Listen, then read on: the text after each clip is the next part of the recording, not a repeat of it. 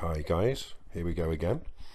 Another one that is quite simple to break down. We have 10 people were shot and 6 others injured. That gives us our 7 code. Here we've got the 36th Street. 36th Street in Gematria gives us our 33 and of course 33 is a calling card.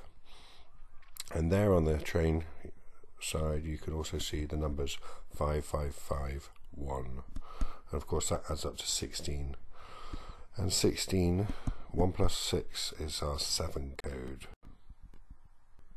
So on the morning of April the 12th 2022 a mass shooting occurred.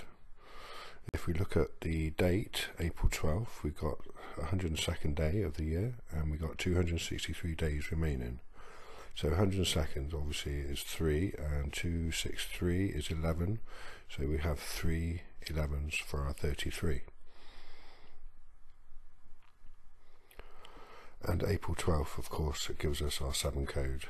April being 4, 1 and a 2 for our 7. 29, two nines gives us our 18. 18, of course, gives us our 33. And they also threw in a few smoke bombs for another 33 it was interesting to uh, hear that the news were all describing it as a war zone, and of course, war zone gives us another 33. So we know, and you know, we all know that this is basically a drill, and they use these drills in order to